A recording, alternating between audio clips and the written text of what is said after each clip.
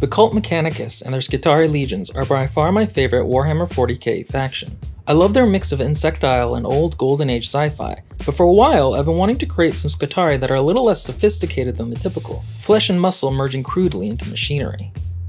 For the base of these Skitarii, I started with Necromunda Bone Grinders, which are perfect for this build. Necromunda gangs are a great base for almost any conversion exploring the underbelly or more horror side of the Imperium, and Bone Grinders specifically look nicely as though their tech priest has been injecting them with steroids and biotreatments to promote muscle growth. To continue that idea of flesh and muscle melting over machinery like hot wax, I picked an orc knob harpoon for the left arm.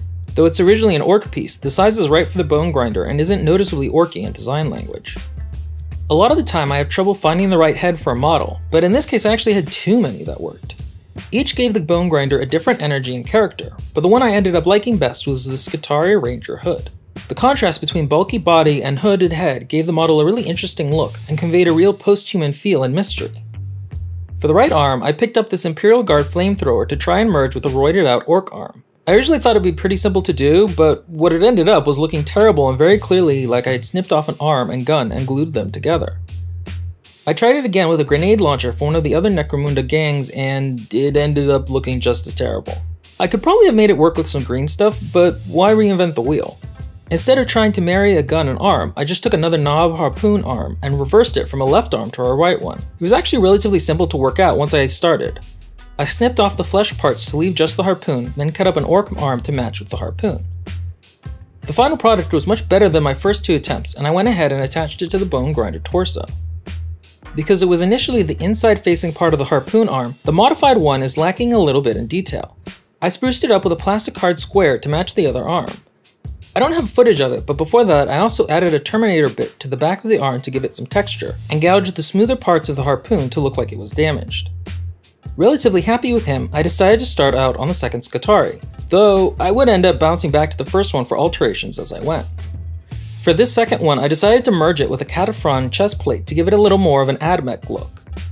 The front of this bone grinder's body is actually a separate piece, so I didn't have to carve it off, just make a simple snip at the waist. Fitting the Kataphron chest plate did take some snipping of the bone grinder's collar, but it actually fits in really well and the scale matches nearly perfectly. I used green stuff to fill the torso and the few gaps. In fact, I liked it so much I decided to go back and add the same chest plate to the first bone grinder. I tried adding a Kataphron arm to the left side. This is a really cool bit and gave the bone grinder a really cool ape-like silhouette, but ultimately didn't match the melting flesh theme I was going for. About this time, I got the chainsaw arm from the Nobz kit, which uses the same basic concept as the harpoon arm. I ended up liking it so much that I replaced the left arm of the first bone grinder with it, though it took a little shaving to get it to sit at the right angle.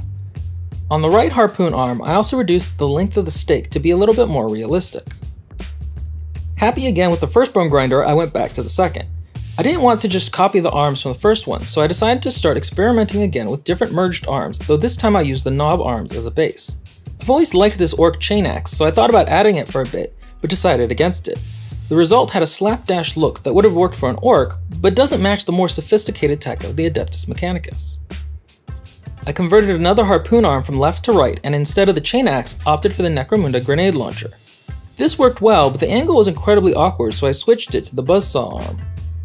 I tried out the earlier orc chain axe, but the result was a little too crude and orky. Instead, I decided to attach the buzzsaw I just cut off and smooth it over with some milliput. I'm fairly pleased with how the pair of Skitarii ended up.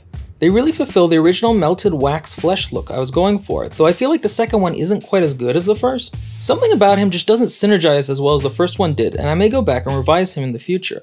At some point in the future, I'm also going to try and make a Tech Priest Dominus which has the same visual language. So if you're interested in seeing that, hit the subscribe button, and while you're at it, check out the other Adeptus Mechanicus conversions I've done.